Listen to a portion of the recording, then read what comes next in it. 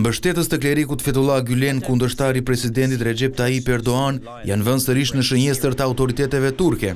Prokurorët lëshuan urdhër arreste për një mijë e njëqind e dymbëdhjetë persona të dyshuar për lidhje me Gülenin, të cilin Ankara e fajëson për grushtin e shtetit në vitin dy mijë e gjashtëmbëdhjetë.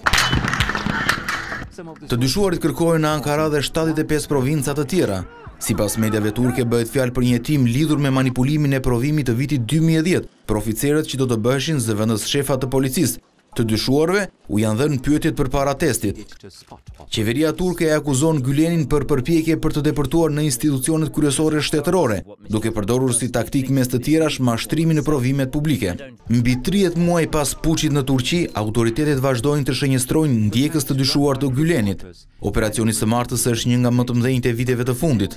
Rreth shtatëdhjetë e shtatë mijë njerëz janë arrestuar dhe njëqind e tridhjetë mijë të tjerë janë shkarkuar nga puna që nga korriku i vitit dy mijë e gjashtëmbëdhjetë, por organizata FETO mohon se qëndron pas përpjekjes për grushtin e shtetit.